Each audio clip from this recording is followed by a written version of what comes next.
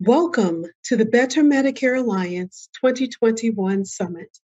This session is entitled Medicare Advantage's Ability to Address the Needs of COVID. Good afternoon. My name is Millicent Gorham. I am the Executive Director of the National Black Nurses Association. It gives me great pleasure to introduce our featured speakers. Zach Gaumer. Zach Gaumer is a principal at Health Management Associates. He is an accomplished policy analyst and project manager with nearly 20 years of health policy experience. He possesses a deep understanding of Medicare and health payment systems. Prior to, to joining HMA, Zach was a principal policy analyst at the Medicare Payment Advisory Commission. And let me introduce Elaine Henry. Elaine is a consultant with Health Management Associates with clinical experience in maternal and reproductive health. She is well versed on clinical, on electronic health records platform use and analyzing medical charts. Today, Better Medicare Alliance is releasing a report entitled The COVID 19 Response differences in Medicare Advantage and fee for service in meeting beneficiary and provider needs. Following the presentation by Zach and Elaine, we will be joined by Stephen Greene of ChenMed, Lisa Trumble of SONO Health, and Dr. Paul Sherman of Community Health Plan of Washington. Zach and Elaine, take it away. Great. Thank you very much. Uh, good afternoon, everybody. Uh, it's great to be with you today uh, to talk about the report that we've done uh, with BMA. Uh, in the spring of 2020, federal policymakers, health providers, health plans quickly responded to mitigate the challenges of COVID 19. Congress and CMS waived specific regulations and created greater flexibility for beneficiaries, providers, and plans to gain access to care and operate. Medicare Advantage plans rapidly adopted these flexibilities and also leveraged key attributes of the MA model to further extend support to providers and beneficiaries. Under the leadership of the Better Medicare Alliance, Health Management Associates engaged in a qualitative research project to understand the challenges of 2020 and the actions Medicare Advantage plans took during 2020 to mitigate those challenges and providers' perceptions of the support supplied by Medicare Advantage plans compared to the support supplied by fee for service Medicare. While COVID 19 has been devastating, it also offers a good opportunity to assess differences in healthcare uh, delivery between fee for service Medicare and Medicare Advantage health plans. The findings of this analysis are clear. While fee for service Medicare made significant efforts to assist providers and beneficiaries during 2020, Medicare Advantage health plans were able to offer providers and beneficiaries additional support due to the financial, administrative, and benefit flexibilities that are built into the Medicare Advantage model. Next slide, please. During this presentation, my colleague Elaine Henry and I will walk you through the design of our research methodology, the three components of our findings, and our key conclusions. We welcome your questions, and we'll take those at the end of the presentation. And with that, I hand it over to Elaine. Good afternoon, everyone. Um, next, I'll discuss our methodology and scope of work. So as we are aware, we're still in the midst of the COVID-19 pandemic. This public health emergency has led to a dramatic loss of human life and has greatly disrupted our healthcare delivery system and has altered how Medicare, Medicare beneficiaries receive care.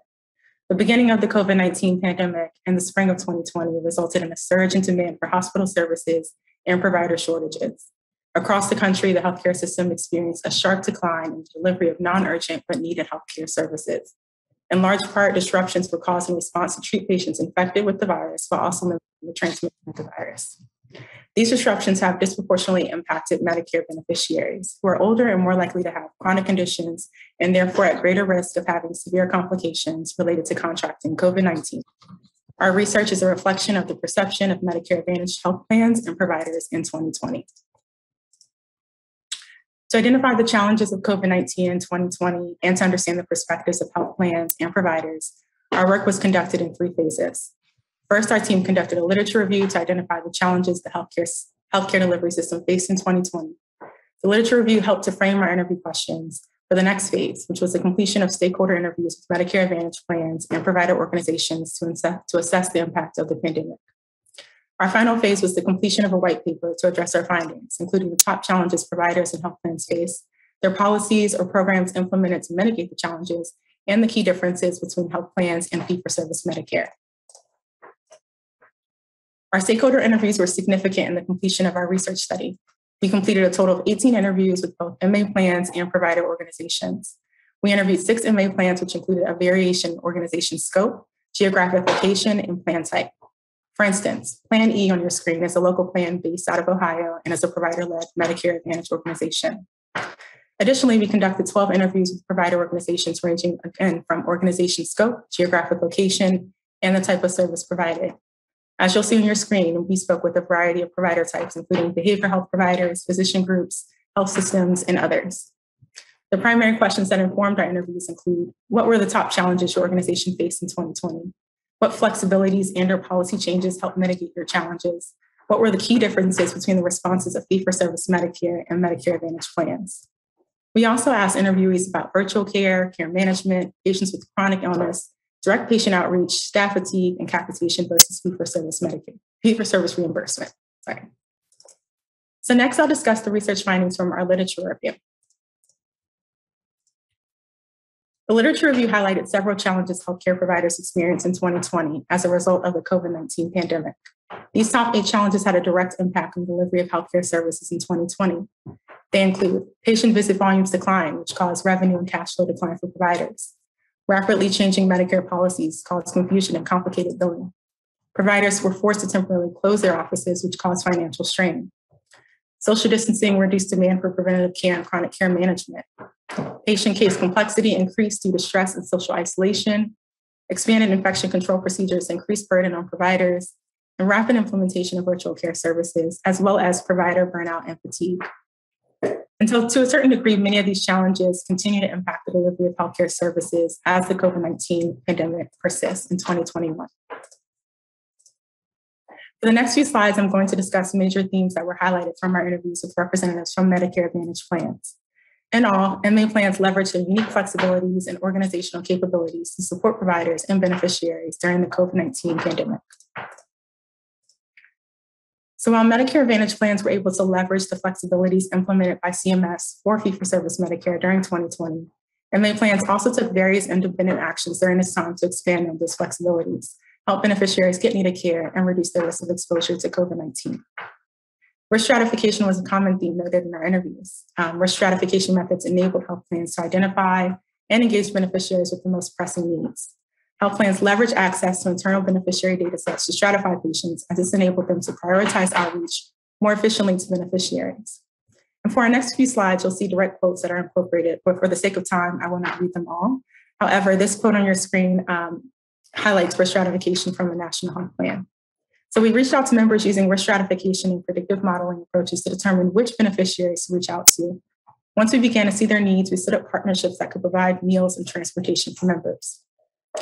Another theme highlighted was the repurposing of health plan staff to facilitate member and provider engagement and outreach. Several MA plans indicated they leveraged staff mm-hmm. managers to broaden outreach efforts to beneficiaries. Another theme highlighted was that additional payments and equipment from health plans eased providers' financial concerns and supported the development of new capabilities. Nearly all health plans interviewed stated that they have some subcapitated payment arrangements with provider partners, According to the health plan, these payment arrangements provided more predictable revenue streams to providers, leading to greater financial stability for the providers in 2020.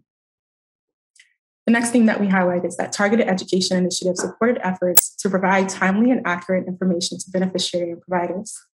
All health plans it is important to ensure that both beneficiaries and providers have access to updated, comprehensive, and accurate information regarding changes such as coverage policies, provider availability, COVID 19 testing and vaccine availability, COVID 19 safety protocols, and other necessary information. The final theme highlighted in our study was that nearly all MA plans leveraged local community relationships and newly available supplemental benefit flexibilities to address important non medical needs. One local health plan actually stated that their organization leveraged strong relationships in the community to encourage donations for needed services. For instance, the plan's case manager called the local pet store to provide donations for members with dogs that were either unable to travel for or unable to afford dog food. So this summarizes um, the major themes that came up during our interviews with the MA plan representatives. So next, I'm going to turn it over to my colleague, Zach Gaumer, to discuss the interview findings from speaking with provider organizations. Zach? Okay, thank you very much, Elaine. Um, so as Elaine noted earlier, uh, we interviewed several provider organizations in the course of this project, which ranged in size, geography, and type of service. And I want to underscore that we interviewed health systems, physician practices, mental health providers, FQHCs, and nursing facilities.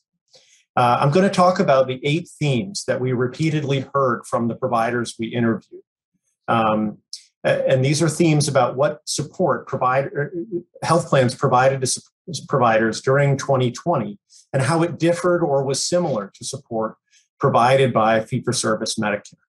Uh, next slide, please. Okay. The number one message we heard during our interviews with providers was that capitated payment arrangements and advanced payments from health plans offered providers greater flexibility and financial support at a time when patient visit volumes were low and unpredictable. Capitated payments and advanced payments enabled providers to manage patient care uh, absent the constraints of fee for service. With greater financial flexibility, providers conducted more frequent outreach to patients, and, and the more predictable reimbursement reduced providers' anxiety about remaining solvent in 2020. Uh, just like the last series of slides, to the right, you can see a direct quote from providers. And in this case, we were told the con- contractual MA structure allowed us to manage MA patients aggressively. We knew MA patients would be coming despite volume declines. So we provide quotes throughout here. We're going to focus mostly on the messaging, but you can see the quotes if you have uh, curiosity about ex- exact experiences. So moving down the slide, the next theme is that providers stated that health plans were very good in 2020 at communicating important information to both patients and providers. Plans implemented education campaigns to convey information via text messaging, email, and phone. These efforts reduced the burden on physicians to conduct uh, outreach to patients and helped patients adapt to life in quarantine. Third, providers highlighted the various supplemental benefits offered by plans, which gave patients social supports that were desperately needed for the most isolated and elderly beneficiaries. Providers spoke highly of prescription drug home delivery benefits offered as a supplemental benefit, or grocery home delivery benefits offered as a supplemental benefit. These were used by several of the providers that we talked to, and they claimed that they were still using them today in 2021 to serve patients that were quarantining uh, because of the COVID pandemic. Fourth, several providers stated that health plans were quick to clarify and confirm coverage for virtual care services during 2020. In particular, providers noted that while fee for service Medicare took a few months to clarify coverage of audio only telehealth visits, some plans very rapidly informed providers that the plan would cover these services. Providers viewed audio only visits as critical to ensuring access to care for patients during 2020. The uh, next slide, please. Providers also stated that during 2020, many health plans augmented their care management services by increasing the frequency of patient outreach. Providers told us that in some cases, plans were doing so much patient outreach that it allowed the providers to be more efficient with whom uh, they themselves reached out to and ease the burden on providers who were suffering from treatment fatigue. Um, and also allowed providers to focus on patients with other forms of insurance, including fee for service Medicare beneficiaries who were not receiving outreach from plans. This fee for service spillover effect was a fascinating aspect of this care coordination theme. Uh, next on the list, providers mentioned that both Medicare Advantage plans and fee for service Medicare were good at paying claims quickly, but in a few markets, the MA plans were slightly faster at paying claims. And this was a big concern for providers in light of declining patient volumes that were concerned about their solvency for the year.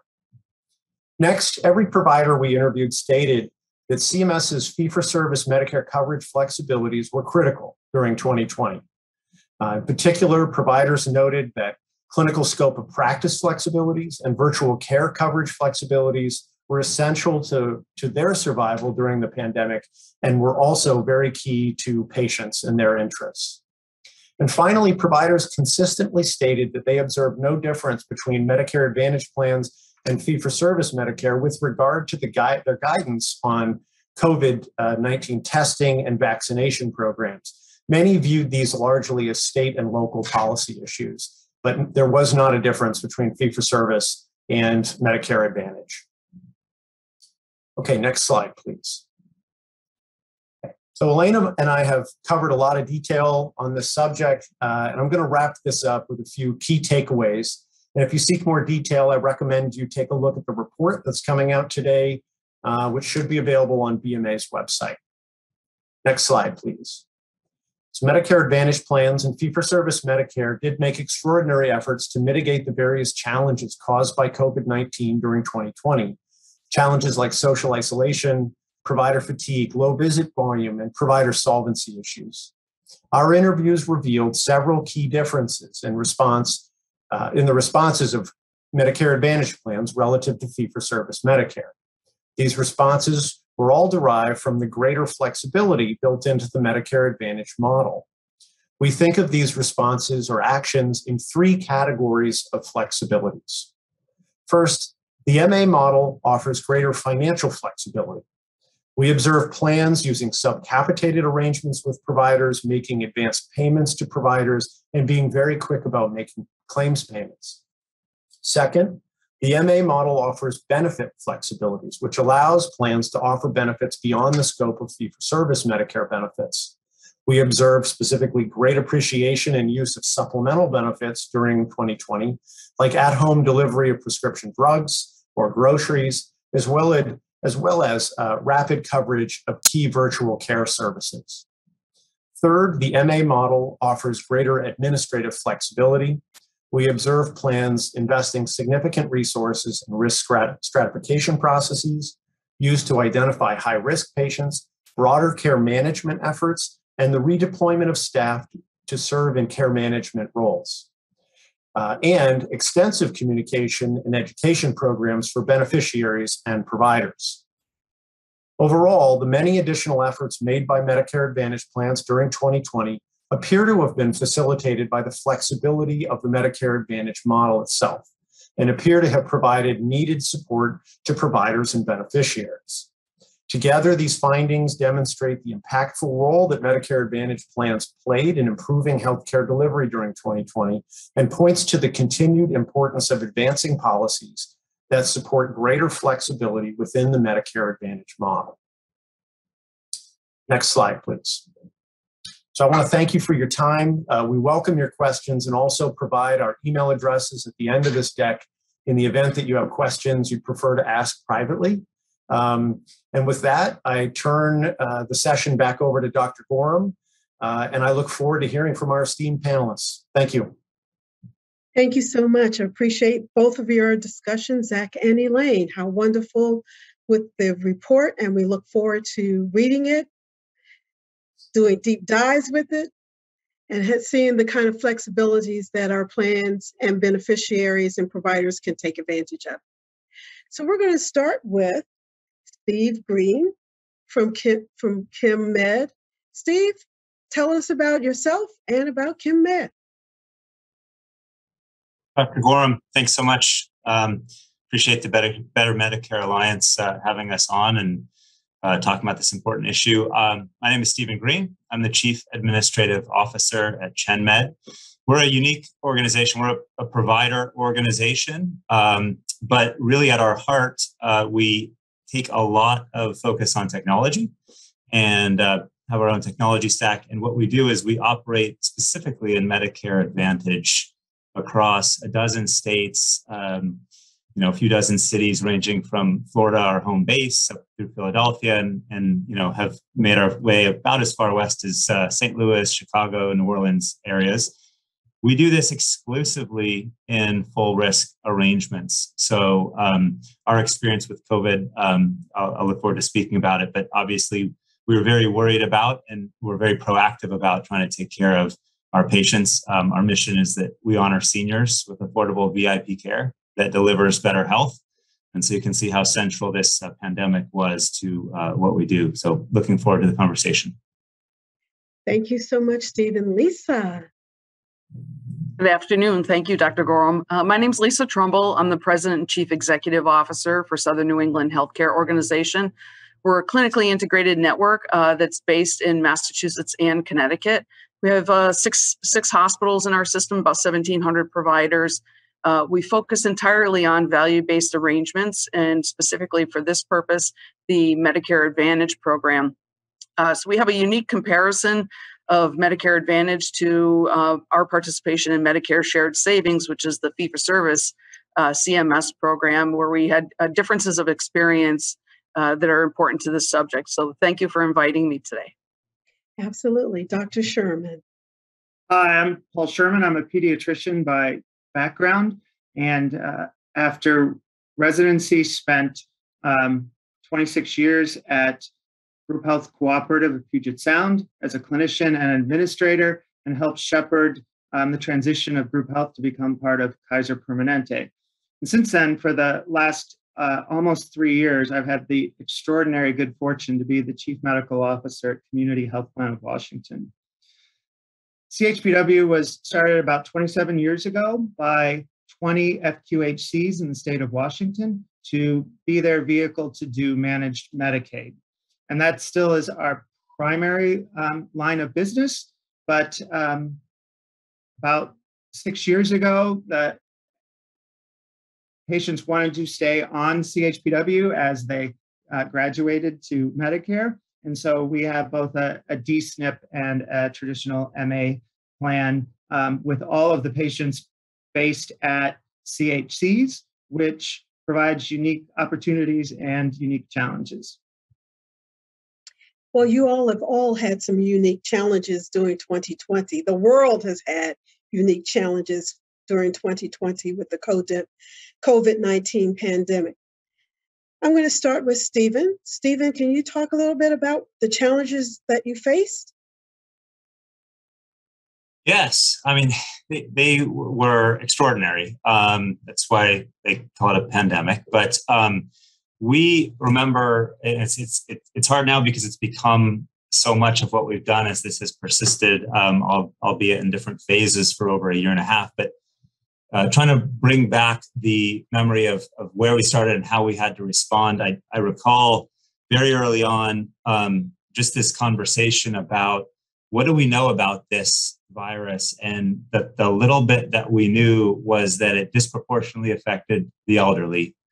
It disproportionately affected people who had comorbidities. And um, we didn't yet know how much that was going to uh, affect um, pre-existing health inequities with, with racial and ethnic minorities and other issues. But we looked at our patient population and said, that's everybody we serve. Literally, our average patient is in their 70s, has five or more major chronic conditions. Um, you know, what are we going to do to keep them safe? And so we immediately created a task force that um, uh, I, I, helped lead along with one of our physicians. I think that was one of the, the key lessons. I don't think you can um, you can do this without physician leadership. I don't think you can do this with physicians alone and saying, solve it. Um, there's a lot of administrative elements as well. And so, uh, you know, for us, there was fundamentally a challenge around could we reach and educate and communicate our patients? And the misinformation started fairly early in the pandemic and has persisted. So we really worked on how could we educate them and understand uh, for their safety what to do when to come to us, when to stay home, etc.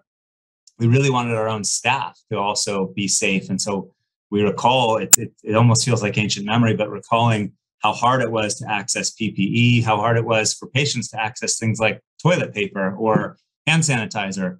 Um, and so we really leapt into action on all of these fronts, uh, um, you know, trying to create uh, special uh, task forces, sub-task forces around procurement, coordinating, coordinating and partnering with uh, health plan partners if, if they were doing procurement of PPE.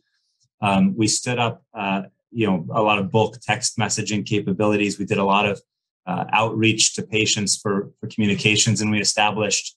Um, we, really never shut our centers down. That was critical to us. We did not want our seniors. We wanted them to stay home, and that was in those early days of quarantine. But we did not want them to to lack the ability to come in if something uh, was going to otherwise lead to their uh, hospitalization or, or, something worse. Again, remembering we're at global full risk, meaning that whether it's COVID or whether it's their congestive heart failure or their COPD, any adverse outcome is something we worry about for their well-being and, and ultimately our economic alignment. So we created, um, you know, color coding tiers for our clinics and how much throughput you could have and how to keep people safe. And so those were all very challenging times early on. So those are those are I think some of the highlights that come to mind um, when you talk about the, the challenges with this. But Steve, so let me ask a question. So yeah. you had these these challenging times with your well during COVID, but what did you actually tell your patients? You know, you have the older patients who, uh, and how did you tell them? You have the older patients who still need to have their preventive health taken care of and still had to have their chronic diseases taken care of. How did you and what did you do specifically to get those messages across to them? Right. So we did uh, several things. One of uh, the earliest things we did was uh, a program called Love Calls, and um, we actually over the pandemic have created uh, seven seven different specific types of outreach calls Love calls was the most common one. We we made over 350,000 love calls. These are these are people associated or loosely affiliated with the care team, just reaching out and checking in on people. And originally it was, how are you feeling? It was, do you understand the risks? It was, do you have toilet paper? It was those kinds of things, and, and they evolved over time. So that outreach, we we went through different periods of how frequently we would text patients.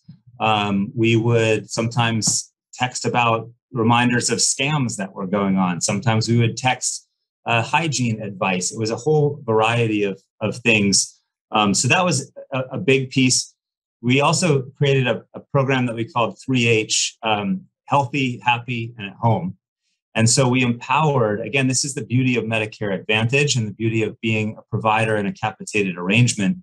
We said, anything we can do that is cheaper than them being hospitalized, ventilated, and and frankly at risk of dying, which is the worst outcome of all. Forget the financials. Um, w- anything we can do that can reduce the odds of that, reduce the odds of catching COVID by grocery shopping or whatever. We really worked on that. So we we empowered people. We we tackled uh, you know home medication delivery. We tackled uh, some of the supplies. We frankly said uh, we don't know exactly where the guidance is going to go on some of the safe harbors and, and all of the uh, you know uh, Medicare regulations, but let's err on the side of helping our patients. Um, and so that uh, that 3H program w- was a huge uh, piece of it early on in terms of you know how we resolved it, and then we really did keep people coming in. We had a, a an algorithmic approach to thinking about who, and we spotted some of this with love calls, but who um, who needed to come in anyway? Where was the risk of staying home and being isolated actually worse? And um, actually happy we just released some data that showed that um, in 2020, our performance against a few preventive metrics like breast cancer screening and A1C control um, exceeded by a good margin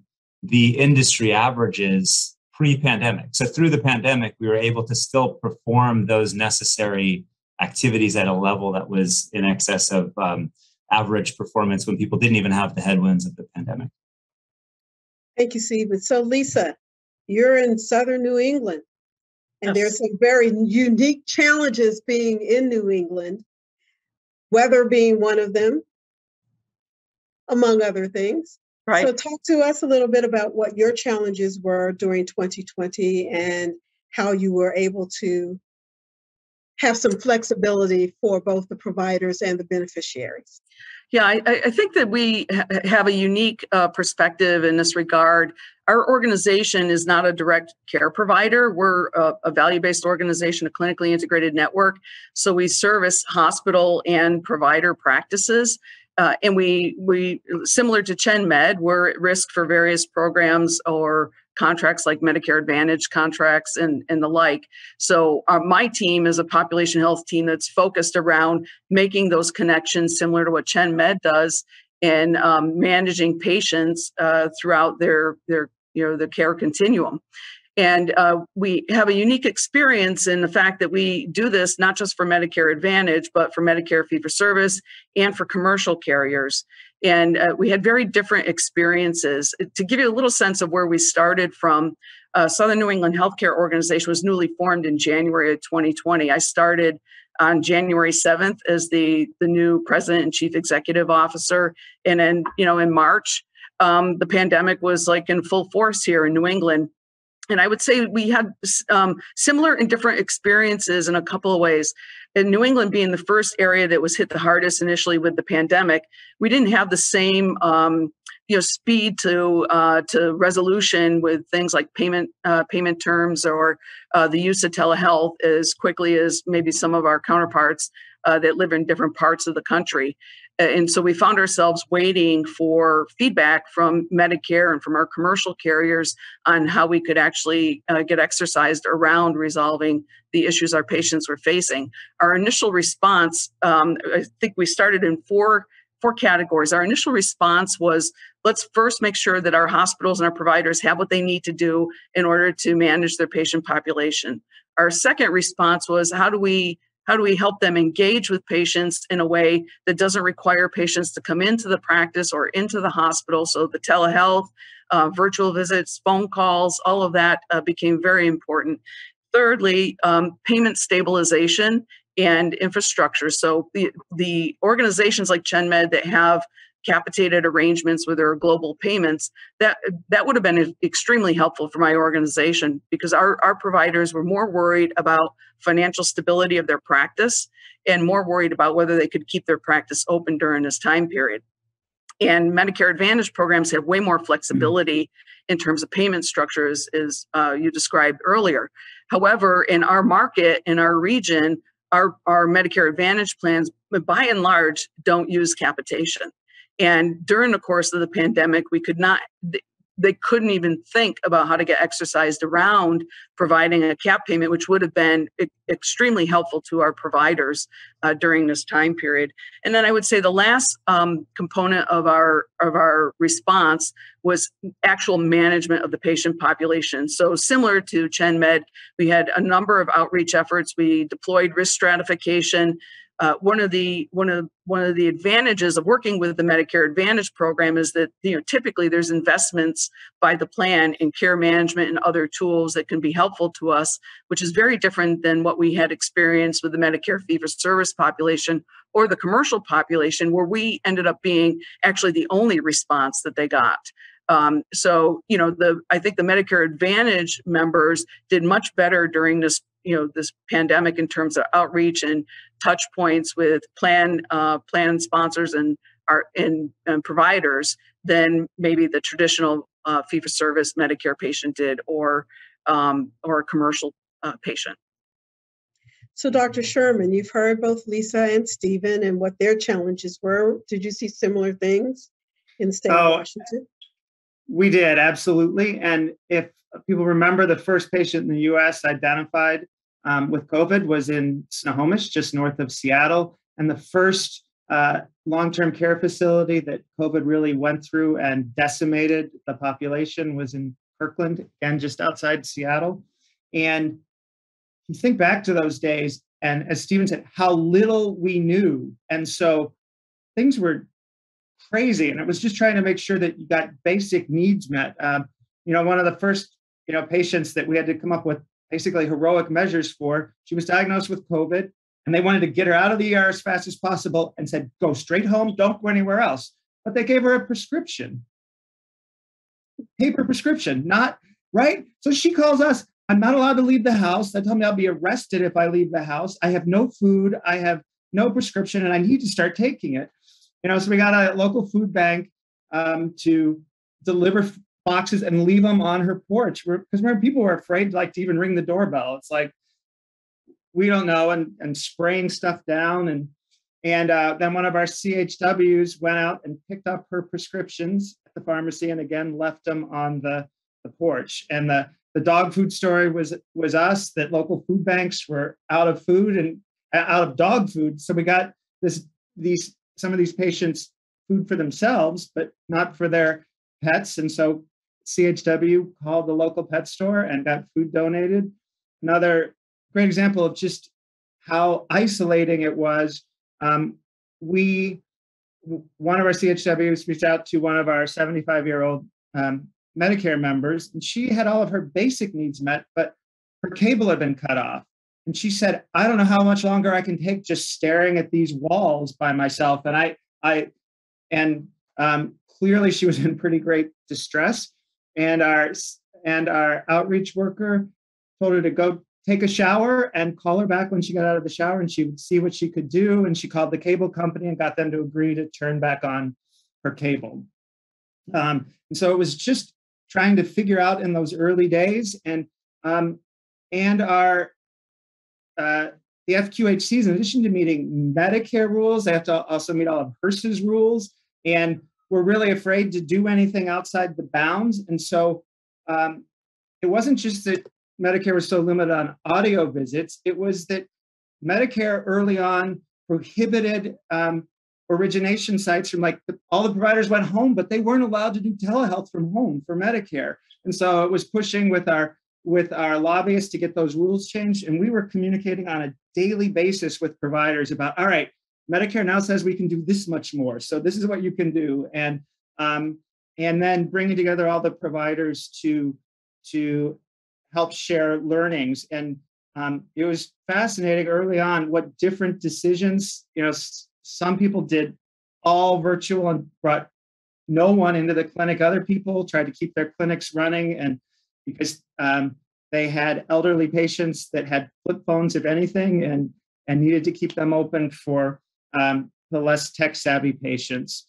Uh, we made a big effort to get people who didn't have smartphones, um, smartphones through various programs.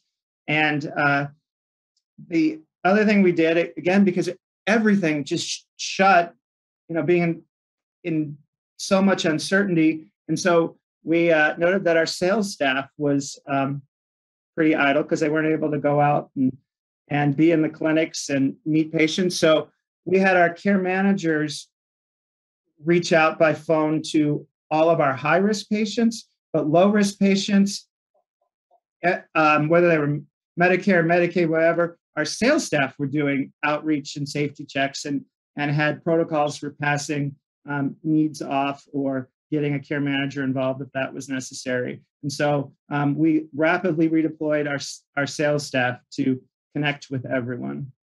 The, the other thing, still relatively in the pandemic, is that we don't have New England weather, but we have uh, forest fires. And oh. last fall, um, you know, as the pandemic was raging, we had a really bad fire season in Eastern Washington, um, and the smoke was was all blowing uh, uh, west. And so even here in Seattle, we had visibility of like 10 feet out on the street often. So we had to not only um, mobilize um, texting and, and voice campaigns for the pandemic, but especially for our members with COPD or heart disease or other chronic lung disease to um, make sure that they were going to be taken care of, even if they didn't need to evacuate that across the whole state. Um, you know, the smoke uh, made uh, Spokane the the most polluted city in the world uh, temporarily. So um, it was uh, reacting to multiple crises at the same time. You mentioned about changes within CMS, like every day, based on all three of y'all's experiences and the things that you all were fielding back to CMS and probably fielding back to your members of Congress because your beneficiaries are complaining to you and other care providers the care providers are also complaining. So could you talk about what the federal government should be doing differently and better now since we've been through this pandemic over the last year and a half i'll start with you lisa yeah, maybe a little quicker reaction, right? Um, you know, on, on many fronts. I, I know that's maybe an oxymoron when we're talking about the federal government and their ability to to move, but um, this was a real public health emergency, and we're still we're still going through it, and it, there didn't seem to be the level of reaction to match. Um, so you know being able to respond uh, having clear information in, in a timely and quicker fashion being clear around payment changes or changes in technology or services that are available um, you know the communication around um, you know testing and vaccination status was uh, added so much patient confusion to this mix and uh, if we had the ability to respond quicker and we had the ability to actually respond in a cohesive and thoughtful manner um, it, with one voice, then I think it would have eliminated a lot of pain uh, on the provider side and the pain that the patients put up with in terms of just trying to understand who to trust with what information and where they should go. Uh, I, I, think the fortunate thing with the Medicare Advantage plans is there's flexibility around how to manage the communications more so than you have with a typical Medicare program, or um, in, in most often the commercial plans aren't aren't focused in the same way. So we were able to standardize our communications uh, amongst our Medicare Advantage members and our Medicare members in general a little bit better than we were able to do with commercial plans. Uh, so I think the reaction, the response, and clear communication and um, uh, and you know a, a single voice around how best to approach this and what to do during this time period would have been extremely helpful. Number one. Number two, um, the payment methodology I think really needs a serious look. If there's any point in time in our our our industry where um, our fee for service payment methodology was shown to not work, this was one of them. And uh, the government needs to st- stand behind and look at the payment methodology and understand what's the best way and the quickest way to transition to us something to tran- transition us to something different that could stabilize our healthcare system but also afford our providers to focus on the things that are more meaningful to patients um, than what would occur in a typical fee-for-service environment stephen let's hear your comments yeah i mean i think there's a lot of ways to think about this. In, in, a, in the most tactical, I think Lisa really hit it with uh, payment. But if you step back, it's it, it's a really tough challenge. If you uh, we we just heard the differences in New England, the Northwest. Uh, we're in, in several different markets. We couldn't have a one size fits all solution. The government can't have a one size fits all solution. But if they can uh, create the opportunity for accountable organizations to do what is right for them and their patients and their and their well-being uh, then i think that's the biggest thing. And, and when i look at what um, was most important for us it was the it was the primary care physician patient relationship. So we have over, over 20 health plans that we work with. So to try to say what's the one answer from the health plan? Well there's a lot of health plans. What's the what's the you know and frankly we only do medicare advantage. What if we also did medicaid and commercial and and, and self-funded employers and all these things? So um, the patient though the relationship with the doctor is is so critical. The the patients that we were able to get vaccinated despite all the information around it the patients that we were able to get to wear masks despite all the information uh, misinformation around it that relies on that primary care uh, physician relationship and we even had um, some evidence that our patients who got COVID did better with COVID. And we believe that's largely because their uh, comorbidities were more well managed. So somebody with COPD or diabetes who has, you know, A1C out of control and gets COVID is going to do worse than somebody who's got diabetes, but at least they're at, you know, seven or something for their A1C. So, so again, where does that come from? it comes from a relationship with a primary care doctor who is managed, who is first identifying all of the, the issues with the patient, than managing and building a relationship and, and trust. And so I think the number one thing is, you know, can we create programs where we encourage or incentivize? I won't necessarily go so far as to say mandate, but it's an unpopular word these days. But um, to to have patients have a primary care physician, and most MA plans have you select a primary care physician, and and that's a big deal. We have small panels. We have only 400 patients or so per physician, so they get to really know them. They see them frequently. They build trust. Um, that's enabled us to um, have that uh, uh, disease management control going in. It enabled us to have them make smart and, and safe choices during COVID.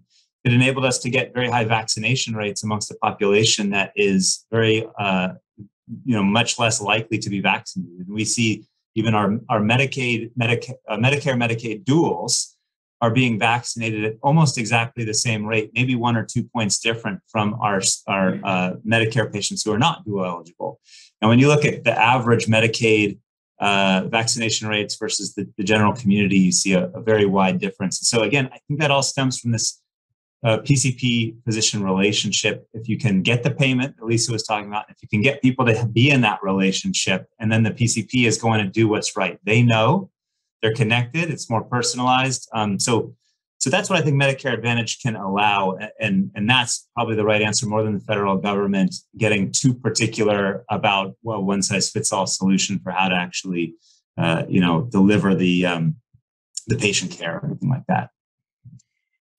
Well, I was I was hoping that there would have been some more flexibility, as you all had talked about earlier, in terms of the providing health care, patient providing direct care from the physician to the beneficiary.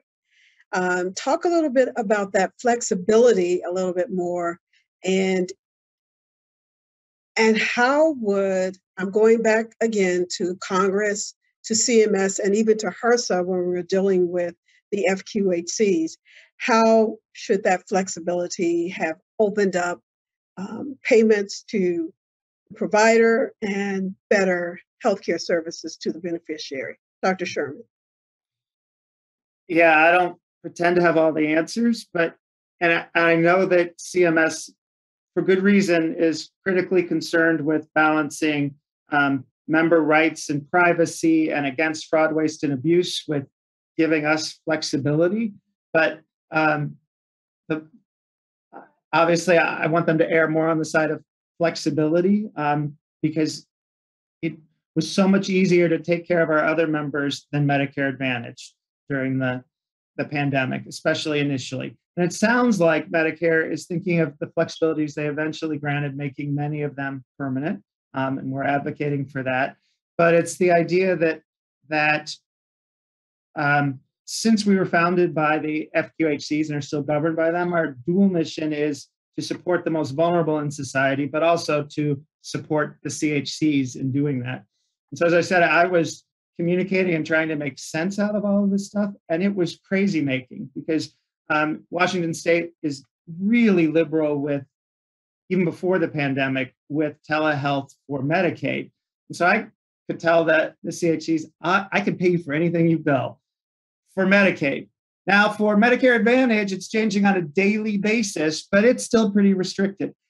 And you can do, but you can do these things for your Medicare Advantage patients. But you can't do them for Medicare fee for service because they haven't loosened that. They've just given us some more flexibility. And as Lisa said, every commercial payer is different. So good luck with that. I can't even begin to help you with that. Um, it was it was crazy making for me, but for providers, it you know trying to figure out what they could do for which patient when. Um, and so the more that that um, well, I'm a big fan of getting everyone into Medicare Advantage, but but the the, the more flexibility so that we can meet the members' needs, we can meet the providers' needs. A huge part of it is trying to be flexible for providers. Again, like on the payment side, we have huge flexibility in Medicaid, and for um, for clinics that weren't already on a full cap or they were on a full cap for for some of their membership but not all of it we were able to just say you know what we're going to do a pseudo cap and pay you as much money as we did in the first quarter of last year because you're going to go bankrupt and lay off all your staff otherwise.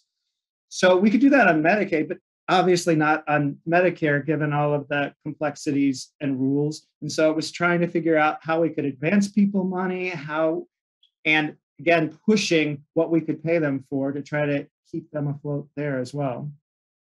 I wanted to bring Zach and Elaine back into the narrative that we have here and find out if there are any questions, Zach and Elaine, that you would like to ask of our three panelists.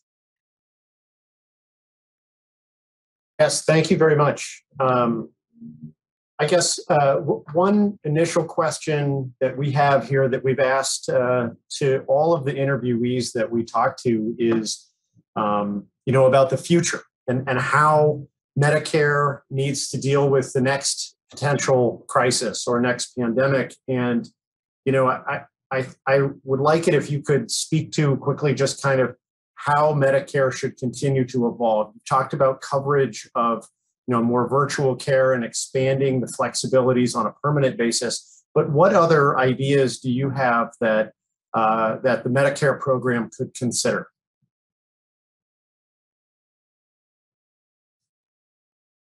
So uh, let me maybe take a first stab at this. Uh, part of my reasoning for bringing up the financial structure of uh, how Medicare operates today is that I think at, at the end of the day, when we look back at the experience, we'll find that Medicare Advantage plans and the patients that were in Medicare Advantage plans, by and large, had better outcomes. Providers had better experience because they had they num- number one had resources at the plan. That were all geared around the whole person and uh, and how to manage the entire person.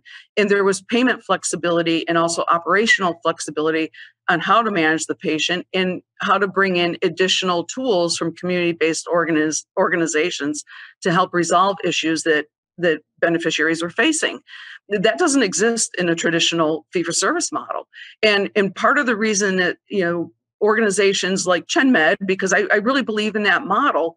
Um, you know, having a global capitated arrangement. I'm not saying it's good for everybody everywhere. You know, there there needs to be some variation in that, but that allowed the organization to step back and think about how to deliver care differently, even though it may not. You know, certain activities were not paid for you know, because it was covered in a a global cap arrangement. In a fee for service environment, the entire provider community is focused on what can I see, what can I bill for, who can I get in, who can I touch, who can I do a telehealth visit for, and not how do I holistically take care of my patient population because I'm more worried about just the financial stability of my practice. And I'm not I'm not saying that that's wrong. That's just the the economic structure that we built, and it, it doesn't work in a pandemic situation. It doesn't work for managing populations uh, because it doesn't create a situation where uh, providers and those that are responsible for managing care have a need to make connections to community-based organizations have a need to work with the plans in terms of understanding how best to manage the population or that uh, or even a need to connect with the rest of the continuum to manage that individual's healthcare experience um, if, if we if we don't figure out that part of the structure then we will we will live with fragmentation in in the way that we saw it you know through this pandemic. I, I, think it's incredibly important to address that in some way shape or form for the medicare population going forward. Because once that's done then we can decide know, many other things can be accomplished underneath it.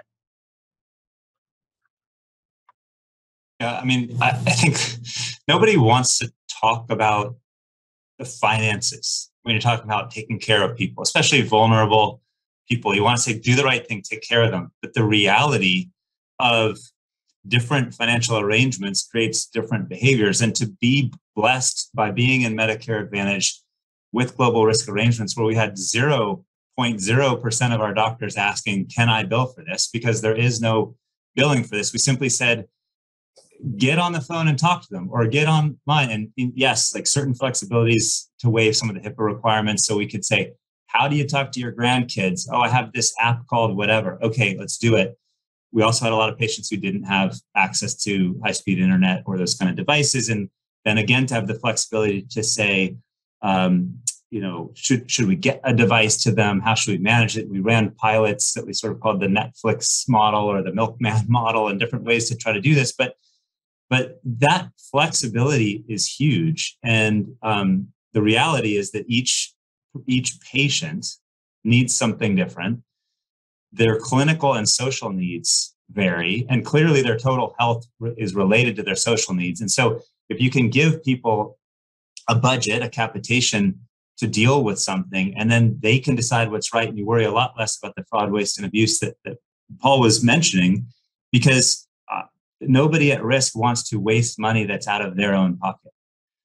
People will waste money from somebody else's pocket, um, and that's what fee for service is. It's it's the government and the taxpayer's pocket. But if it's your budget, you want to do the right thing. And so I think getting that in place is just really the biggest thing they can do because it will enable folks to um, do the population care management advance, connect the dots for social determinants of health, um, prepare them, and then give them the flexibility if, God forbid, you really need to go crazy because you know some something turns the world upside down with another pandemic. It's never going to be uh, perfect, but I think that's that's big thing just to piggyback on Lisa's uh, uh, answers, and then you know I, I think really for the government to think about what ought to be federal and what ought to be state. Some of the challenges with vaccine rollout and, and, the state level was very, very challenging for us being in 10 different states. We're in 12 now, but um, you know, we had 10, um, you know, to actively do this with. That was very hard. Um, so there's this balance. Sometimes local's better and sometimes federal's better. And so for them to think about which fits which in advance would, would really be helpful. The only thing I, would add, and I think Lisa and Stephen both touched on this, was that is that um, even before the pandemic, we were all moving more towards thinking about um, true whole person care, social determinants of health. That your zip code is more important than your genetic code in terms of your health and your lifespan, and how we address that. And CMS is making some movements along that, but it's still well, if you, if you've offered it as an official supplemental benefit or still has all of these rules that that stop us from being able to be flexible um, when we identify a need that is going to impact um, a member's health significantly. You know, we now have a, a wildfire emergency. We have some patients that we know if we don't get air filters to them, um, they're going to end up in the hospital. But well, wait, is this a patient we're allowed to cover it on, or do we have to find someone else to get it to them? Um, because we don't obviously want to break the rules. And how do we keep moving uh, CMS to to really look at at whole person care?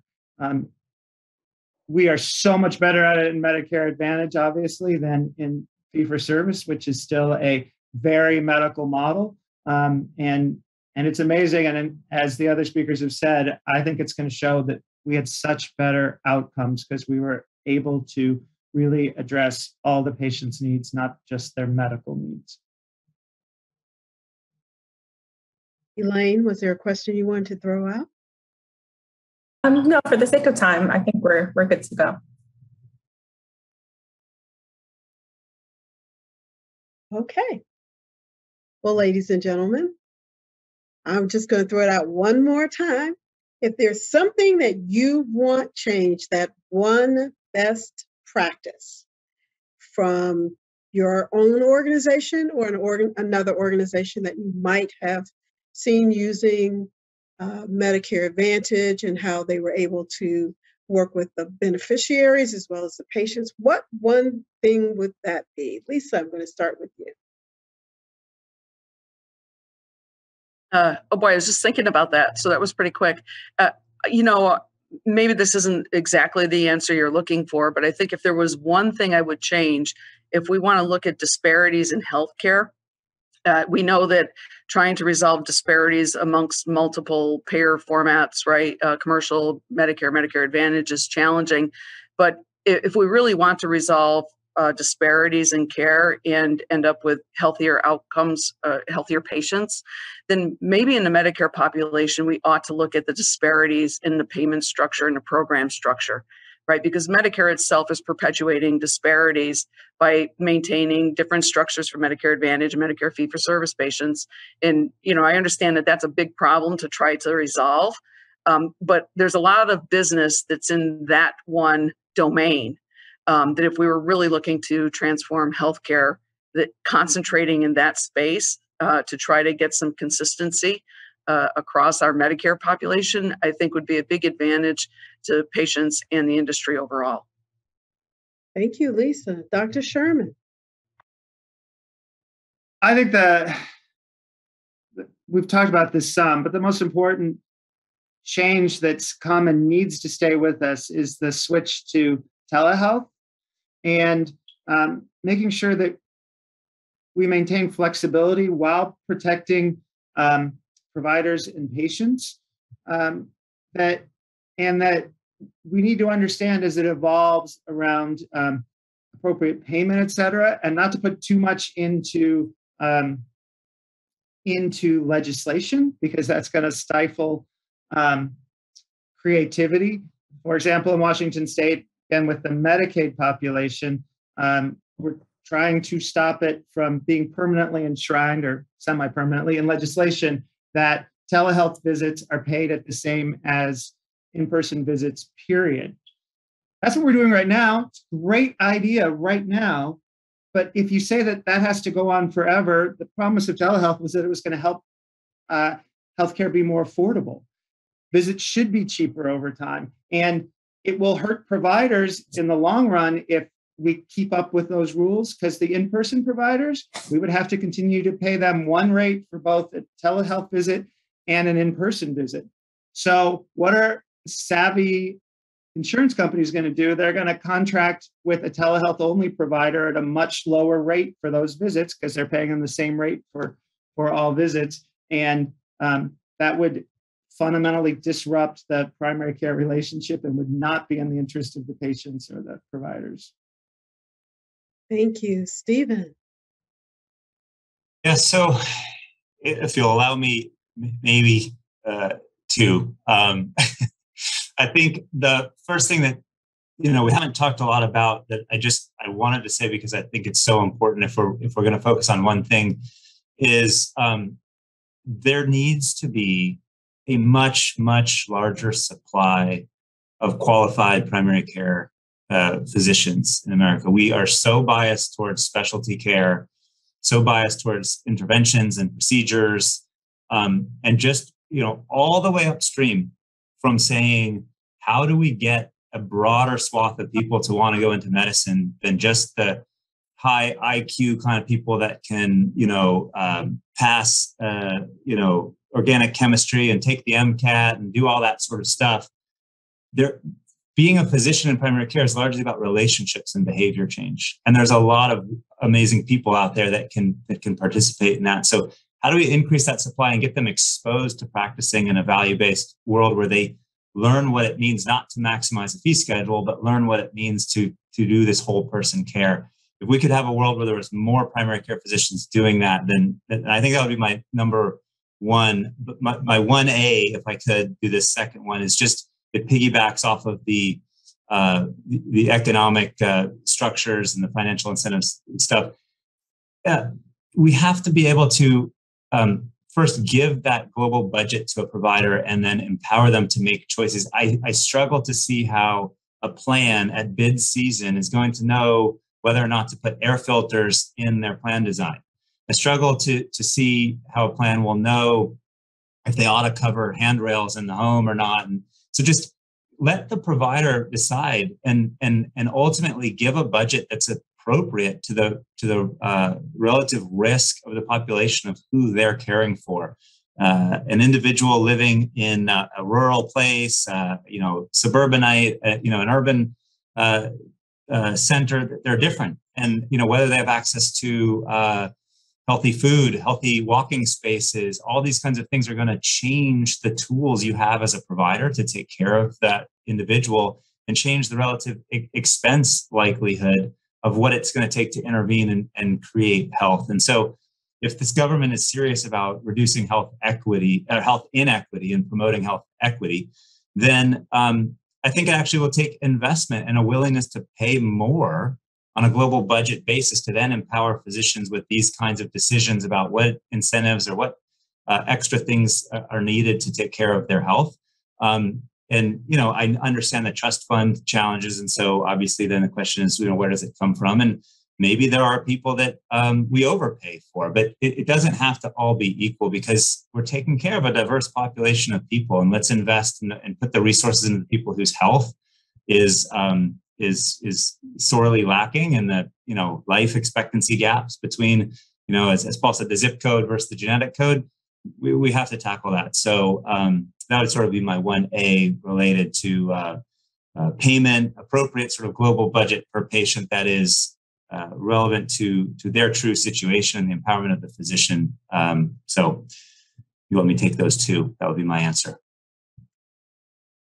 Thank you so much, Stephen. So, on behalf of the Better Medicare Alliance, I would like to thank Zach Gaumer, Elaine Henry of Health Management Associates, Stephen Greene of ChenMed, Lisa Trumble of Southern New England Health, and Dr. Paul Sherman of the Community Health Plan of Washington for being a part of this wonderful session on COVID and managing our Medicare patients through COVID and best use of Medicare Advantage.